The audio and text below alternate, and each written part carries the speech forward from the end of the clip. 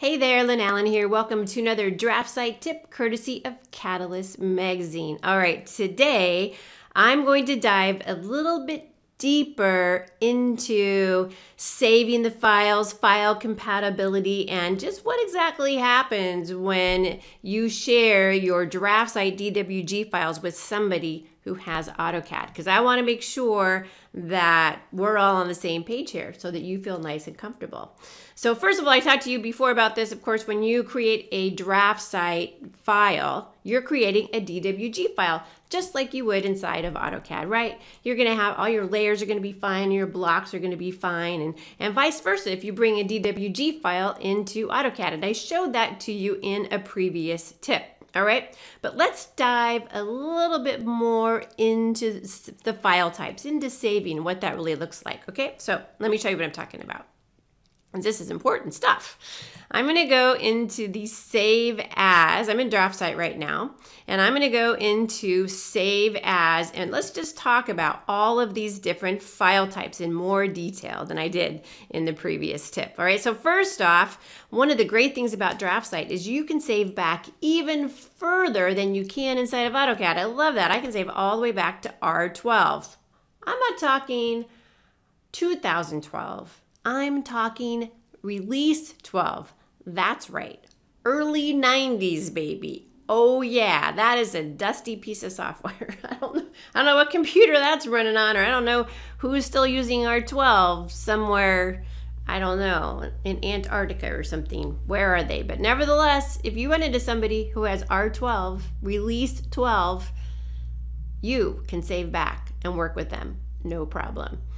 Good to know. And I always tell the story, I told this before too, about how when I was doing an AutoCAD webinar when I worked for Autodesk, that somebody came up to me and they said, hey, they had DraftSight in their office. This is one of the first times I'd ever heard of DraftSight. And I said, oh, well, what have you got DraftSight in your office for? And they said, because sometimes they needed to save back even further than AutoCAD would allow them to save back. So once again, DraftSight truly understands the data that's inside of a DWG file. And I think that's the key takeaway.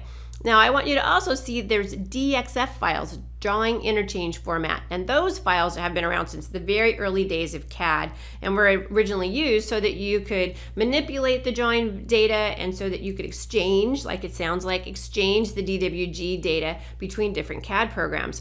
And uh, it's not used as much anymore, but you will see that there's two different types of DXF files. There's an ASCII DXF file and a binary DXF file. And all this stuff I'm telling you right now is also valid with, with AutoCAD, by the way. So uh, an ASCII DXF, no surprise, five times larger than a binary DXF, but you it's text. You can go in and you can edit it. And in the early days, it was not uncommon if you had a 3D drawing file and you wished it was 2D, you could go in and you could strip out that Z coordinate. And that was sometimes what people did. You could manipulate the data and then you could you could export that DXF file and then you could import it back into AutoCAD or you could import it back into DraftSight. Anyway, binary on the other hand so much faster so much smaller maybe if you were doing like a, a, mass printing plotting project or something like that you could use these DXF files. So I'd like to point out also that inside a DraftSight you can do ASCII or binary. Um, you can only do ASCII anymore inside of AutoCAD. Some of you might need a binary file. And then there's a D, DWS, right? That's where your standards are, the, uh, your styles and your line types and, and layers of things like that. That's another lesson for another day. Your template files, you guys know what those are. Shape files. So this is something that AutoCAD also cannot do, but is very, very cool. So what is a shape file? A shape file is a, is a, a symbol. Um, like a block, but way harder to create than a block. You have to actually program it. So this would be a scenario where I would be able to draw this object and create a shapefile out of it just by doing a save as a shape. What? It's totally undersold feature that I love. And you're like, well, what would I do with a shapefile? I'll tell you what you do with a shapefile. If you ever wanted to make a custom line type with a really cool symbol in it, you have to do that with shape files. And so I could create the cool symbol, create a shape file, and put it in my custom line type. Oh, fabulous. Anyway, that's a pretty cool feature as well. I like it. It's like a top secret feature. Let's go over to AutoCAD and let's talk a little bit more because I want to share some stuff with you. All right, so let's uh, first off, let's do our save as. And as I mentioned uh, previously, like you'll just see that there just aren't nearly as many options when it comes to doing a save as. You can only save back to R14 for a DWG file. That's probably okay for, you know, 95% of the world. Um, but nevertheless, just pointing out that DraftSight has really worked hard to maintain the data integrity and to share, you know, make it easy for people to save back as far as they need to. There's the DWS, there's the DWT we talked about. There are DXFs, these are not binary, these are ASCII. And uh, there is, of course, no shape file. And uh, but but still, you know, for most of you, that's probably okay. This is what I really want to show you because I'm going to come clean with you.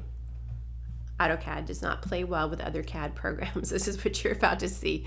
If Okay, so you have your DWG file that you've been working on in DraftSight, and then you decide to share it with somebody who has AutoCAD. Maybe somebody in your office, maybe a client, whatever the situation is. I got to give you a heads up. I got to come clean. I'm to open up uh, this drawing file. This was done inside a DraftSight. Look, Autodesk wants you to know that it was saved by an application that was not done by Autodesk. It's not done in AutoCAD. Now, I want to know, it's not a DraftSight.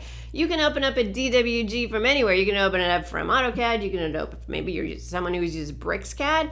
NanoCAD, whatever, they don't care if it's a DWG file. They're happy to use it. No problem. No warning statements. They play nicely with everybody. But Auto, Autodesk, AutoCAD, whatever, they just want you to know they don't play as nicely. So there will be a warning message letting people know. They just need to continue opening the DWG file. It's fine. It's not evil. It's not going to hurt nobody, no animals will be harmed.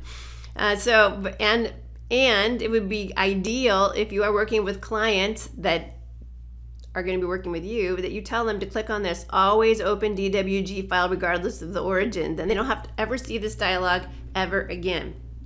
But you can't make them do it. There's no way for you to get in ahead of time. Now, I will tell you there are ways to get around this evil error message, but maybe that's uh, that's a that's a discussion for another time. And incidentally, if you open up a really old AutoCAD drawing, you get this message as well. And or if uh, you're working with a third-party app on top of AutoCAD, you could also get this message. So it doesn't necessarily mean that they were working that you were working with DraftSight or with BricsCAD or whatever the scenario was. So just something I want, but I want you to know. So, uh, and also incidentally, the system always is a long time, right? Always open DWG files.